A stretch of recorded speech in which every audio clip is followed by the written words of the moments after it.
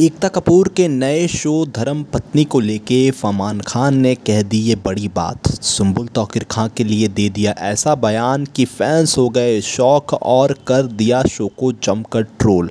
तो इस वीडियो को पूरा एंड तक ज़रूर देखना। चलिए आपको भी बताते हैं कि धर्म पत्नी शो धर्म पत्नी शो के लिए आखिर ऐसा क्या कह दिया है? फमान ने एकता कपूर को और सुम्बुल को लिए और सुम्बुल को लेके क्या दे दिया है बड़ा बयान। तो इस वीडियो को पूरा एंड तक ज़रूर देखना। दोस्तों धर्मपत्नी शो को एक सप्ताह हो चुका है। पूरा एक सप्ताह कंप्लीट होने के बाद अब शो बड़े बड़े मीडिया हाउसेस के निशाने पे आ गया है, क्योंकि ये एकता कपूर का शो था और लोगों को एक्सपेक्टेशन इस शो से बहुत ज़्यादा था।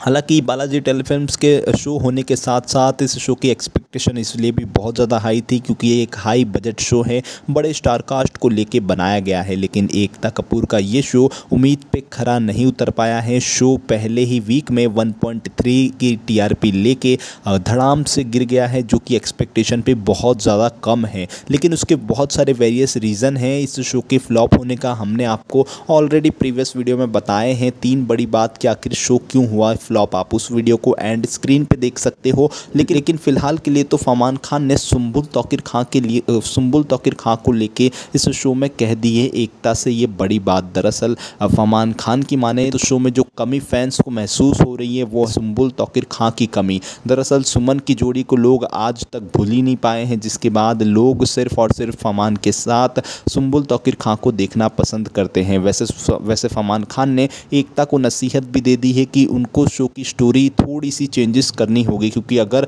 ये शो लोग ये कह रहे हैं कि भाग्य लक्ष्मी कुछ लोग कुंडली भाग के साथ इसका आ, कुछ लोग कुंडली भाग का रीमेक बता रहे हैं। तो अलग अलग तरीके से एकता के ही शो के ऊपर उंगलियाँ उठने लगी हैं। तो हालाँकि फमान खान ने यह नसीहत दे दिया है एकता कपूर को। अब आने वाले दिनों में एकता कपूर इस शो को लेकर बहुत ज़्यादा पॉजिटिव है। तो आने वाले दिनों में आप शौक मत होना। अगर इस शो में बड़ी बड़ी और भी एंट्रियाँ होंगी और शो की स्टारकास्ट शो में और भी बहुत सारे चेंज शो में और भी बहुत सारे चेंजेस होने वाले हैं और कुछ मीडिया रिपोर्ट्स की माने तो एकता कपूर धर्म पत्नी शो में सुम्बुल की भी एंट्री कर सकती है। लेकिन ये देखने वाली बात होगी कि सुम्बुल तोकिर खां बिग बॉस से कब तक बाहर आती हैं। जब तक सुम्बुल तोकिर खां बिग बॉस में है, तब तक ये उम्मीद नहीं है। लेकिन अगर ऐसा कुछ होता है तो वो आपको ज़रूर देखने को मिलेगा हमारे यूट्यूब चैनल देख तमाशा टीवी पे। तो इस चैनल को सब्सक्राइब कीजिए और लिखिएगा नीचे कमेंट बॉक्स में, आप क्या कहना चाहोगे? क्या आप भी फमान खान की इस बातों से सहमत हो कि सुम्बुल तोकिर खां की जोड़ी अगर इस शो में आती है then it's then it will definitely work for this show और टीआरपी भी इस शो की ज़रूर इंक्रीज़ होगी। बताइएगा ज़रूर अपना ओपिनियन नीचे कमेंट बॉक्स में। और अगर ये वीडियो आपको अच्छा लगा है तो वीडियो को लाइक शेयर और सब्सक्राइब कीजिए। मिलते हैं नेक्स्ट वीडियो में, तब तक के लिए। बाय